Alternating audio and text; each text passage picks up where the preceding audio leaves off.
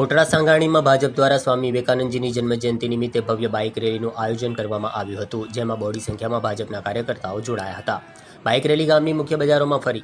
ત્યારે વંદે માતરમ, ભારત માતા કી જયના નાદથી કોટડા સાંગાણી ગુંજી ઉઠ્યું હતું.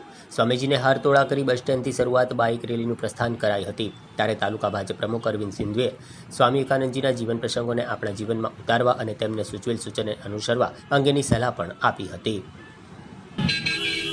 આજરોજ કોટડા સંઘાણી તાલુકા મુકામે યુવા ભાજપ દ્વારા સ્વામી વિવેકાનંદના જન્મ જયંતિ નિમિત્તે વિશ્વ યુવા દિવસ મનાવવામાં જે આવી રહ્યો છે, ભારતભરમાં અને વિશ્વભરમાં, તેના અનુસંધાને કોટડા સાંગાણી તાલુકા ખાતે પણ સ્વામી વિવેકાનંદની ટેસ્યો અને એના સભીને ફૂલહાર કરી અને અમારા તાલુકાભરના કાર્યકર્તાઓ અને ખાસ કરીને યુવા ભાજપ દ્વારા એક સરસ મજાની રેલીનું આયોજન કરી અને કોટડા ફેલેસ મુકામે આ રેલી દરેક વિસ્તારમાં મુખ્ય બજારોમાં થઈ અને સમાપન કરશે.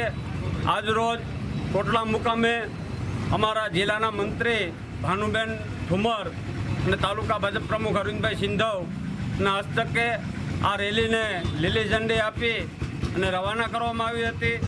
તેમજ જુદા જુદા ગામમાંથી ખાસ કરી અને સ્વામી વિવેકાનંદ યુવક મંડળ અને યુવા ભાજપની ટીમ કોટલા સાંગાણીના પ્રમુખ ધર્મેન્દ્રસિંહ જાડેજા દ્વારા જે જબરજસ્ત આયોજન કરવામાં આવ્યું હતું અને સોથી વધારે બાઇક દ્વારા જે રેલી કાઢવામાં આવી હતી એક સ્વામીજીને ખૂબ ખૂબ શ્રદ્ધાંજલિ અને વિજય દિવસ તરીકે જે મનાવવામાં આવે છે, એ હકીકતમાં સાર્થક થાય છે.